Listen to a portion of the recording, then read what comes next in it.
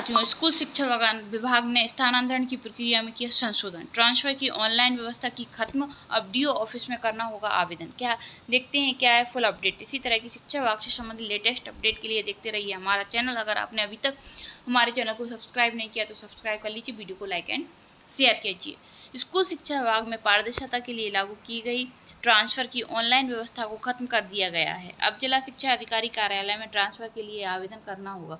इस संबंध में गुरुवार को आयुक्त लोक शिक्षण अनुभव श्रीवास्तव ने निर्देश जारी कर दिए हैं। स्कूल शिक्षा विभाग में एक ज़िले से दूसरे ज़िले एवं एक संभाग से दूसरे संभाग में स्थानांतरण विभागीय मंत्री इंदर सिंह परमार के प्रशासकीय अनुमोदन उपरांत किया जाना है।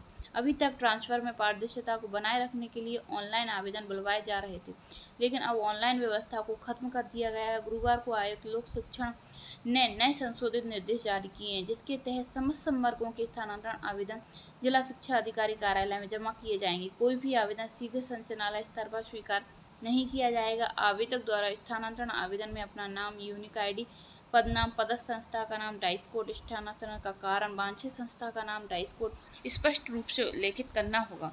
जिला शिक्षा अधिकारी द्वारा समस्त आवेदनों का परीक्षण कर संलग्न प्रारूप पर समस्त आवेदनों का प्रस्ताव संचालय को प्रेषित किया जाएगा। प्रपत्र के सभी कॉलम की पूर्ति अनिवार्य रूप से की जाएगी। आवेदन की प्रति संकुल की, संलग्न की जाएगी एवं प्रपत्र का सरल क्रमांक आवेदनों पर अंकित करना अनिवार्य होगा। जिला स्तर पर आवेदनों का परीक्षण करते समय इस बात का ध्यान रखा जाएगा कि पाँच छः साल में रिक्त होने की दशा में ही प्रस्ताव संचालय को प्रेषित किया जाए। जिला शिक्षा अधिकारी द्वारा इस तथ्य का भी परीक्षण कर लिया जाए कि स्थानांतरण होने पर कोई भी शाला शिक्षक विहीन न हो। यदि शिक्षक के स्थानांतरण से शाला शिक्षक विहीन होने की संभावना है तो उसे प्रस्ताव में शामिल न किया जाए। सीएम राय उत्कृष्ट मॉडल स्कूलों में पदस्थ शिक्षकों को उसी श्रेणी की शालाओं में स्थानांतरण का प्रस्ताव प्रेषित किया जाएगा, अन्य शालाओं में नहीं।